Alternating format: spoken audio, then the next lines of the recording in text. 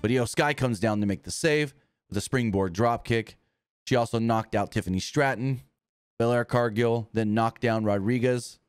Sky, Naomi, Belair, and Cargill all stand tall in the ring to take out Nia and the four baby faces. Close the show all together in the ring. So it looks like we're building that women's War Games match here. It looks like this women's War Games match could essentially be Bianca, Jade, Iyo, Naomi. There's four.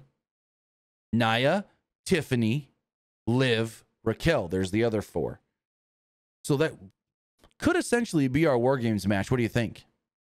Wouldn't be bad. I mean, I know we kind of discussed it, or like e- either. Before, I think we discussed it before, like we went on. Well, the beginning of the show, because we had that super chat. Yeah, but yeah, that's probably not. That's probably the best move, honestly. So here's my one gripe. And this is going back to something Triple H said earlier this year. Triple H said that he doesn't like the gimmick pay per views where you have a specific match and then have to book something for it, a la Hell in a Cell or TLC. But he's still doing war games where, oh, it's Survivor Series. That means we got to randomly make a war games match for the men and then one for the women.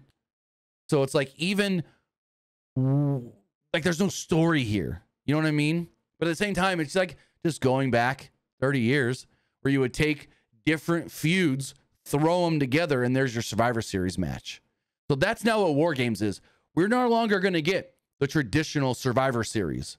We're now going to get a men's War Games and a women's War Games as our Survivor Series match. And again, like I stated back in the day, you would take, you know, a Hulk Hogan feud and somebody else's feud, put them all on one team. It's a whole thing.